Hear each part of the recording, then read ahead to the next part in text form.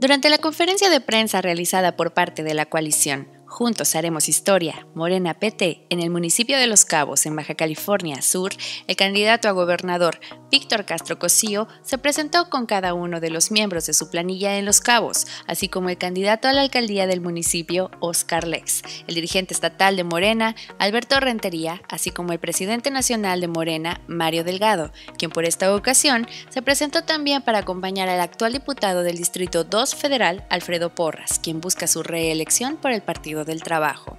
El presidente nacional de Morena dijo que esta coalición encabeza las encuestas de intención de voto este 2021.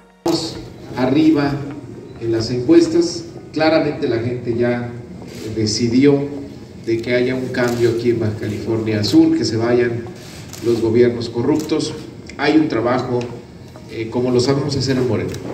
Por su parte, Víctor Castro informó sobre su plan de gobierno, respondiendo también a las acusaciones recibidas durante el primer debate del Instituto Estatal Electoral.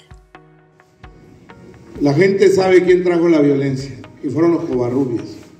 Así de fácil. Son unos sinvergüenzas. No tienen, de verdad, no tienen decoro para hacer eso. Quieren respetarme de un sobrino que fue, que, no tiene proporción alguna eso. Si fue así, que lo juzguen. Yo les he dicho que sea responsable de sus actos. Ante los recientes ataques en contra de la propaganda electoral de la Alianza Unidos Contigo en diversos puntos del municipio de Los Cabos, el profesor Oscar Lex, candidato a la alcaldía de este destino, dijo. Bien, la verdad que me sorprende un poco la pregunta porque si alguien ha sentido eh, esos ataques en contra en la poca propaganda que traemos, hemos sido nosotros. Nosotros andamos enfocados desde el primer día en llevar nuestra propuesta en todos los rincones de nuestro municipio. No nos estamos dedicando a lo que estos cínicos del PAN están comentando. No dudo que sean ellos mismos porque así se han conducido ellos siempre.